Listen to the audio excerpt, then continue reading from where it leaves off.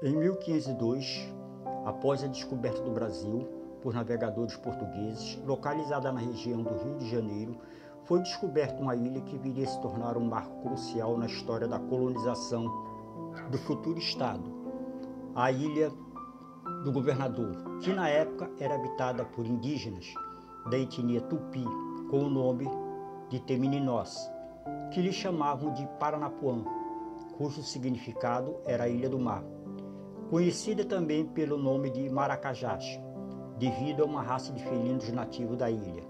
Habitada também pelos indígenas da etnia Tupinambá, do ramo tamoio, eram rivais nas disputas da região rica em pescados, fontes de águas naturais e um solo fértil que futuramente, com a colonização, se desdobrará em várias fazendas de abastecimento para a cidade do Rio de Janeiro. Veremos agora um pouco da invasão francesa no Rio de Janeiro, que deve-se ao fato de Martim Afonso de Souza não ter se interessado em desenvolver a capitania.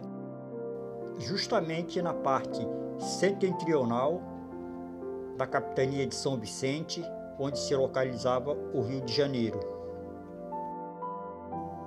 Facilitando com isso a ocupação e a aliança dos franceses com a etnia Tupinambá, que formavam o que hoje podemos chamar de Confederação Tamoio, por sua extensão em todo o território da capitania de São Vicente.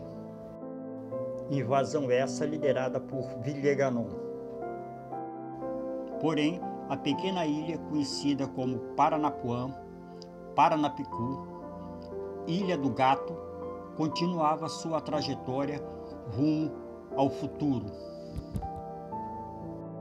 Em 20 de janeiro de 1567, com a chegada da esquadra de Cristóvão de Barros, Estácio de Sá e seus aliados indígenas, os Temininós, desfecharam ataques fatais nas forças francesas na região de Uruçumirim, atual Praia do Flamengo, e Paranapuã, atual Ilha do Governador.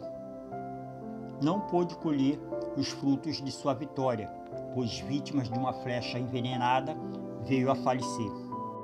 Mostrando para vocês agora no local onde localizava-se uma aldeia da tribo dos Temininós, aqui no bairro do Galeão.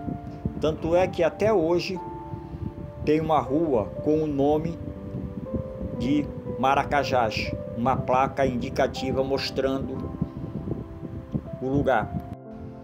Em frente à igreja nossa Senhora do Loreto. Agora temos então uma visão geral da Estrada dos Maracajás. E essas casas que vocês estão vendo são residências de militares, portanto, uma vila militar.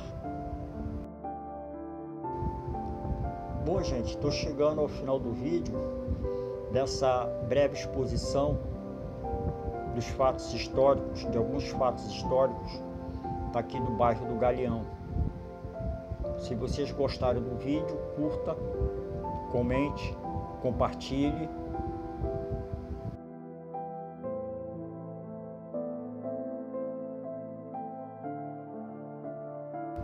E se vocês quiserem apoiar o meu canal que está começando agora, estou deixando na descrição a minha chave Pix, caso alguém queira colaborar com o canal.